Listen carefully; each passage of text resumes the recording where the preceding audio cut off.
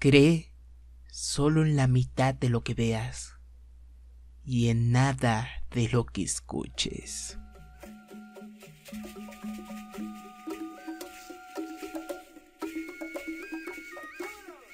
Ya comienza Voces de un País.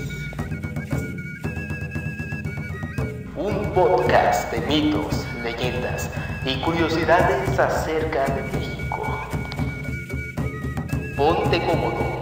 Comenzamos. Hola a todos, bienvenidos a Voces de un País, el podcast que narra los mitos, las leyendas, las curiosidades que hay en nuestro bello país. Una disculpa por subir el episodio en un sábado, haciendo la aclaración que a partir de hoy todos los capítulos se subirán los sábados. Si todavía no me sigues en mis redes sociales como Spotify, Google Podcast o Facebook o Instagram, adelante, síguenos. Todos los días encontrarás contenido nuevo y diferente. Hoy, hoy tengo una historia muy particular, combinada con una leyenda urbana y a la vez una historia de terror. La historia del día de hoy es una historia que mucha gente desconoce.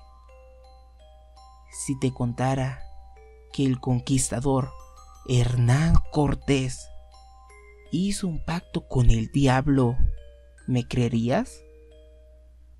Aventúrate conmigo a conocer el callejón del diablo. La ciudad de Cuernavaca, Morelos, es conocida por su hermoso clima. Muchos actores, artistas y reyes vivían aquí en Cuernavaca porque muchos médicos señalaban que para tener hijos el mejor clima era este. Su excepcional arquitectura, monumentos como el Palacio de Cortés, el Jardín Borda o el kiosco son muestras que Cuernavaca es una ciudad llena de historias y de misterios. Hay un lugar en particular que se llena de misterios y misticismos. Una barranca con una profundidad de más de 30 metros y un puente que une dos calles. Al entrar, se escucha un silencio, una corriente de aire frío que te hace temblar. A lo lejos, se escuchan los ruidos del agua, del aire y de las ramas moviéndose. Cuando en un parpadeo, viajas a la época de la conquista, escuchas las carretas y los caballos en constante movimiento, pero hay algo que destaca a lo lejos, escuchas la risa del diablo.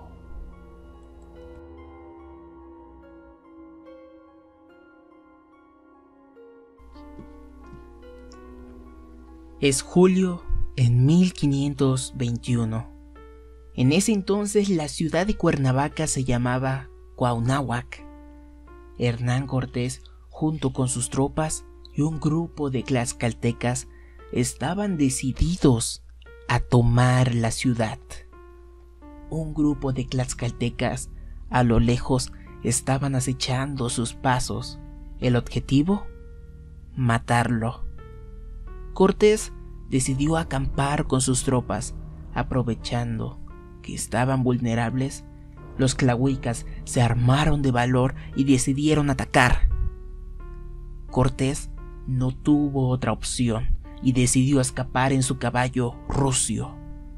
Durante la persecución, a lo lejos se miraba un obstáculo, la barranca de Amanalco, con más de 20 metros de profundidad, era imposible de escapar. Cortés, a punto de ser abatido, no pidió ayuda de Cristo, sino de su contraparte. Solo el diablo podría salvar al conquistador. Gritó a lo lejos unas palabras de auxilio, tomó vuelo con su caballo y el corcel dio un gran salto de más de cinco metros, acabando del otro lado de la barranca. De no ser por el diablo, Cortés hubiera sido atrapado y asesinado. Los clahuicas narran que el caballo pegó un salto por los aires como si tuviera alas. Poco tiempo después, la ciudad de Cuauhnáhuac fue tomada y Cortés mandó a construir un puente donde sucedieron dichos acontecimientos. Desde aquellos sucesos, el Callejón del Diablo, o también por nombre Puente del Diablo, está cerca del centro de Cuernavaca y en la calle Mirabal esconden esta leyenda. Muchos estudiantes o gente que pasa por ahí relatan que por las noches o a muy tempranas horas de la mañana se escucha todavía las pezuñas del caballo de Hernán Cortés. No solo por la historia de Hernán Cortés es especial el Callejón del Diablo. Dentro de este encontrarás dos lugares que sin duda hacen que la esencia del callejón sea mucho más tenebrosa y misteriosa. El primer lugar es un monasterio, el cual fue uno de los primeros en establecerse en la ciudad de Cuernavaca. Y del otro lado de la moneda, justo a la mitad del callejón, encontrarás un lugar de santería y brujería, dirigido por una persona que se conoce como el jaguar. La historia real. El cronista Valentín López González relata una historia diferente a la leyenda. Y sí, si realmente nos ponemos un poco más estrictos relacionados con la lógica y quitamos a un lado toda esta magia, todo este misticismo de la leyenda, es un panorama un tanto diferente.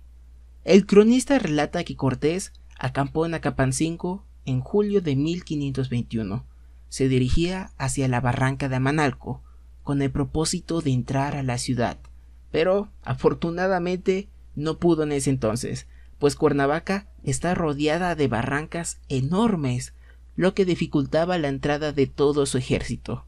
Pero, desafortunadamente, un tlaxcalteca descubrió una parte más estrecha por la cual se podía pasar, y luego de un combate con las fuerzas clahuicas, Cortés pudo entrar a la ciudad. Esta entrada estrecha es lo que se conoce hoy en día como el puente del diablo. Hoy en día esta zona se encuentra muy abandonada. Monumentos como el Palacio de Cortés o el Jardín Borda son zonas muy turísticas, pero el Callejón del Diablo es una zona muy descuidada.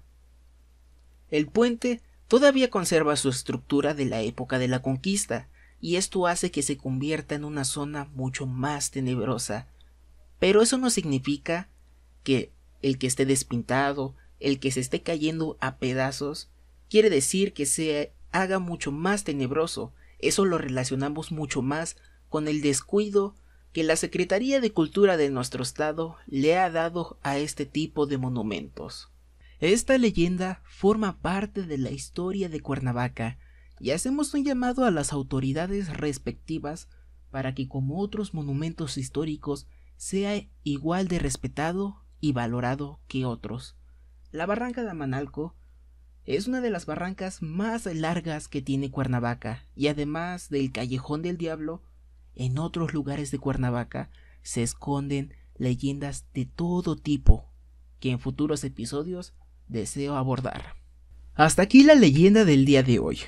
Una disculpa porque el podcast no fue tan largo como otros que duran 15 minutos 10, pero me gusta contar este tipo de historias breves y muy, pero que muy interesantes. Como siempre espero que el video sea de tu agrado. Si es así, no olvides seguirme para más historias de este nivel. Si tú conoces esta leyenda o tienes una versión diferente o te pasó algo similar a ti o a un conocido, coméntalo en la caja de los comentarios. Y como siempre, muchas gracias por todo tu apoyo. Recuerda que el que no conoce su historia se ve obligado a repetirla. Yo soy Ángel Salvador y nos sintonizamos luego.